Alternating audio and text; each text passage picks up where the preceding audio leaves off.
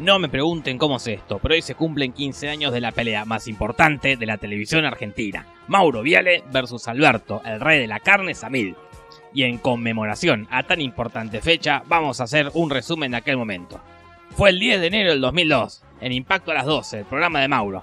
La entrevista estaba finalizando en pésimos términos, y Samir se puso muy insistente con saber el verdadero nombre de Mauro. Si supiera cómo se llama Me usted, cuesta entender. y usted a ver si sabe cómo se llama, a no ver si pago, sabe ¿qué cómo se cuesta? llama un día. ¿eh? Ojalá que un día sepa cómo se llama. Y en un momento pensábamos que estaban atrapados en ese loop. ¿Cómo es su una nombre? última pregunta más. Dígame cómo se llama. Si usted me dice cómo se llama, yo le digo la pregunta. Por favor. ¿Cómo se llama usted? Ya pasó. No, pero no sé a quién ¿No le me va a dice. contestar la última? ¿Pero a quién le voy a contestar? Si no sé cómo se llama usted, dígame cómo se llama. Si usted me dice cómo se llama, sí. ¿Cómo se llama? ¿Qué apellido conozco de histeria, no me haga histeria. La pregunta de Samir tenía sentido, porque Mauro Viale no se llama Mauro Viale, se llama Mauro Goldfarb. Pero eso no es importante ahora. La cosa se empezó a poner peludo cuando Mauro le hizo alta acusación al rey de la carne. Usted avaló la bomba lamia. No, no puede ser semejante barbaridad. Y eso Samir no lo pudo tolerar y dio el primer golpe. Usted se tiene que arrepentir porque yo no hice nada de eso. usted no puede decir. ¿Cómo puede decir eso? no. ¿Cómo vas a decir eso?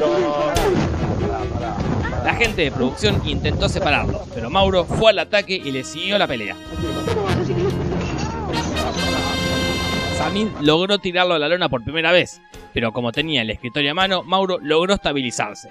La pelea siguió en un plano general y todo se volvió muy confuso, pero más confuso se volvió cuando apareció este misterioso sujeto. Un agradable anciano que aprovechó la movida para fajarlo a Mauro. Años después, Samir explicó quién era. El portero que trabajaba con él. Y después le preguntaron, dice, ¿por qué le pegó? Y venía todas las mañanas y me verdugueaba. Lo vi en el suelo y aproveché. Bueno, pero que esto no nos distraiga de lo importante, porque el viejito le pegó a Mauro cuando Mauro cayó a la lona por segunda vez. Pero por segunda vez se logró parar y arremetió contra Samir.